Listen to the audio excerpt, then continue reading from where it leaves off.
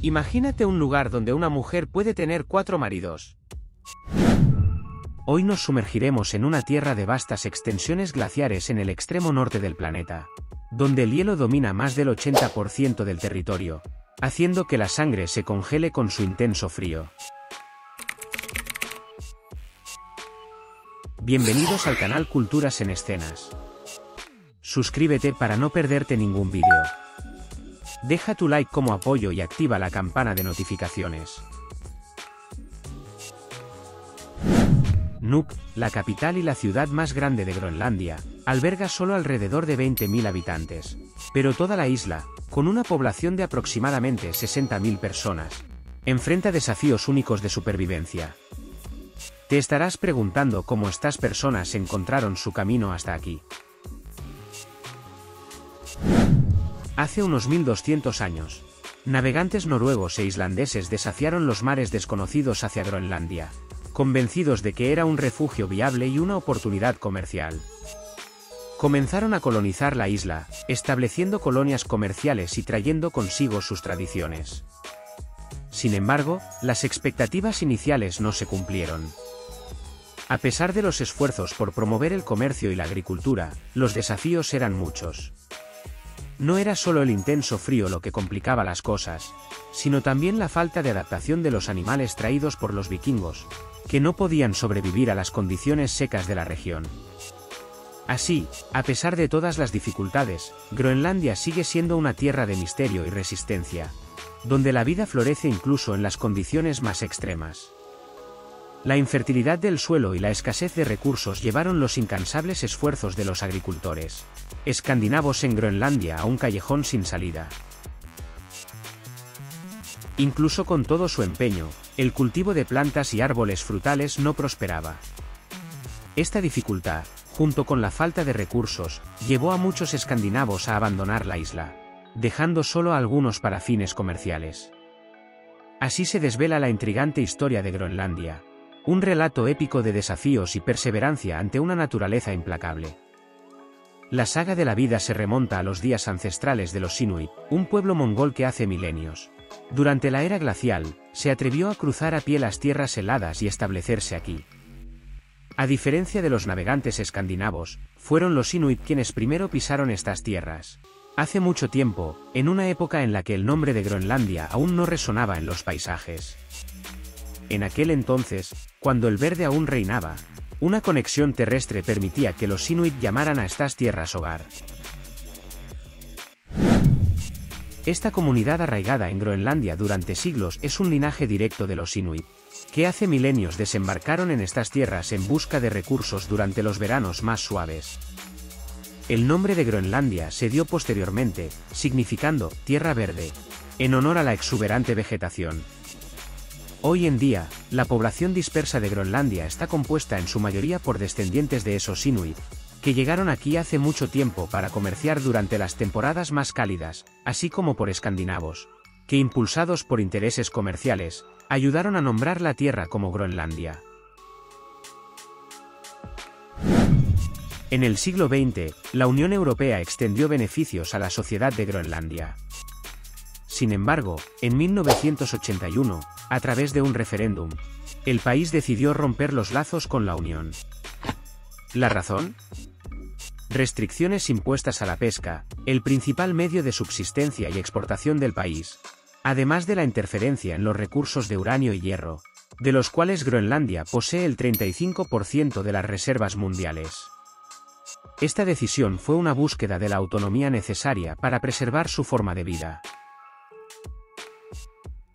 Actualmente, aunque Groenlandia mantiene lazos con Dinamarca, toma la mayoría de sus decisiones de manera independiente. La dependencia financiera de Dinamarca es innegable, con casi un mil millones de dólares invertidos anualmente para sostener la vida en la isla. Este territorio, oficialmente propiedad de Dinamarca, despierta el interés de China, Rusia y Estados Unidos debido a sus riquezas minerales y vastas reservas de peces, convirtiéndose en un territorio estratégico en el escenario global. Recientemente, el expresidente de Estados Unidos, Trump, expresó interés en comprar toda la isla, lo que provocó revuelo entre la población y los políticos locales. La isla es codiciada por sus reservas de uranio, hierro y peces, convirtiéndose en un objetivo de intereses internacionales. Hoy en día, si un habitante de Groenlandia busca educación o atención médica en Dinamarca, el Estado danés asume los costos. En cuanto a la propiedad de la tierra, es una prerrogativa del gobierno, que otorga permisos mediante el pago de impuestos para la construcción, pero no permite la adquisición directa de tierras. Así, Groenlandia mantiene su singularidad y autonomía. Una tierra marcada por su historia única y su papel significativo en el tablero geopolítico global. La capital, Nuuk, donde la mayoría de las residencias reciben apoyo del gobierno y lucen colores vibrantes, ofrece pintorescas viviendas en venta, con precios generalmente en el rango de 350 mil dólares. Sin embargo, Groenlandia, con su dureza comparable a una roca congelada, definitivamente no es para los débiles de corazón. Pero si te atreves a explorar este país, serás cautivado por detalles increíbles, incluso en medio de un paisaje congelado donde la vida florece en tonos de verde. Además de la vista impresionante, respira el aire puro y oxigenado. Una rareza en lugares donde el cielo no está empañado por los escapes de los automóviles y el humo industrial. Pero lo más notable es la sonrisa constante que ilumina. Los rostros de las personas, que de alguna manera encuentran la felicidad en medio de las adversidades. En este lugar único, habitado por osos polares, focas y ballenas, todos se conocen, viviendo en armonía sin hostilidad. Los esquimales y los escandinavos comparten la soberanía de estas tierras heladas, creando una unión única en Groenlandia, donde no se perciben signos de maldad. Esta isla no es solo desafiante para sus habitantes. El derretimiento de los glaciares podría tener implicaciones globales, evocando escenarios apocalípticos con el aumento del nivel del mar. La capital Nuuk enfrenta significativas carencias en términos de calidad de vida, sistema de salud y transporte. La isla aislada parece una entidad lunar en medio de miles de millones de personas en el mundo. Vivir aquí es una experiencia única, pero también desafiante, especialmente cuando se trata de acceder a servicios esenciales que están fuera de las fronteras del país. En Groenlandia, no solo descubres un lugar, sino que entras en un mundo que exige una comprensión constante del lenguaje de la naturaleza y vigilancia. Con cualquier descuido, los barcos de los pescadores y ellos mismos pueden ser tragados por el océano congelado, recordándonos que el mar no juega con una población reducida. La cuestión del matrimonio se convierte en un dilema, ya que las oportunidades de encontrar parejas son limitadas. Los ciudadanos a menudo recurren a los administradores locales en busca de ayuda. La presión para volver a casarse después de perder al cónyuge es palpable, ya que el declive poblacional es una preocupación constante.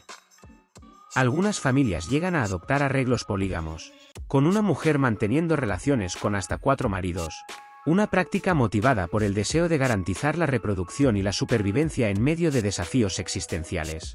Otro desafío enfrentado en Groenlandia reside en la falta de una infraestructura eficiente en áreas remotas.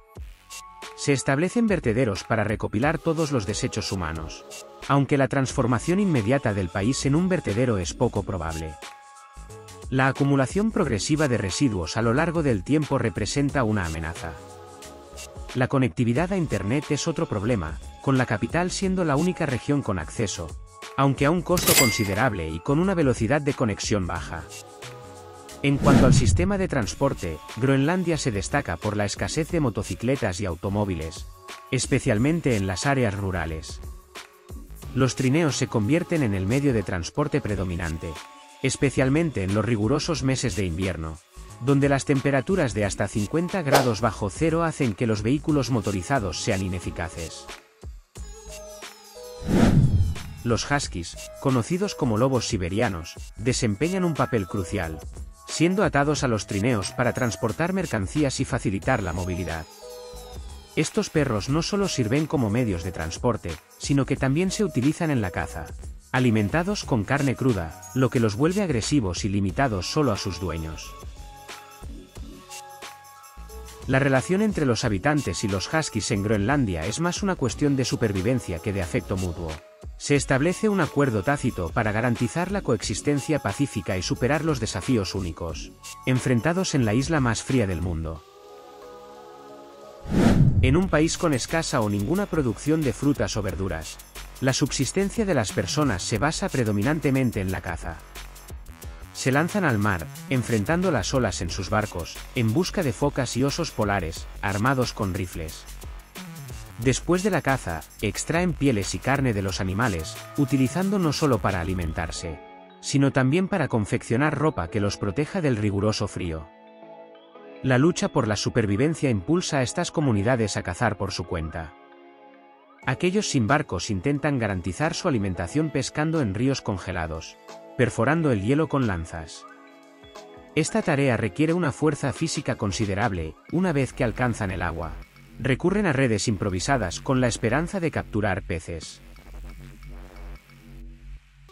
Al regresar a sus hogares, el alimento del mar se consume vorazmente, especialmente si contiene cerebro. Esto se refleja en la presencia común de carne de foca en prácticamente todas las residencias.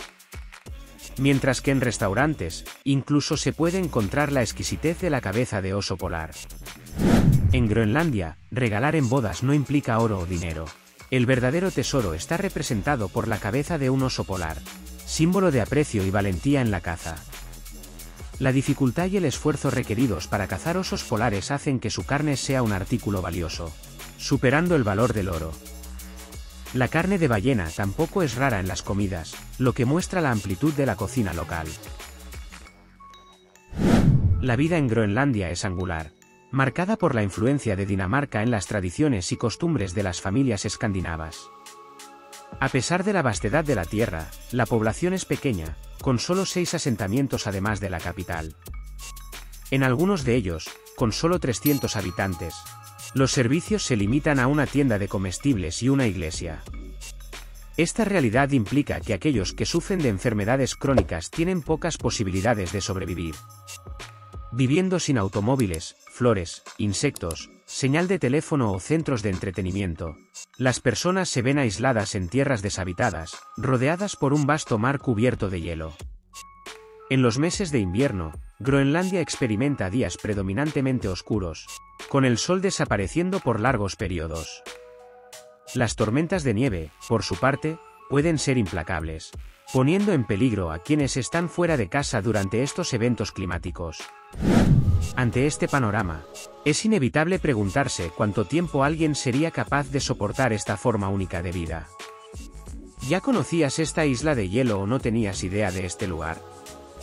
Comparte tu opinión en los comentarios y mira este vídeo sobre este país increíble del país del carnaval. Te garantizo que te gustará. Te espero allí.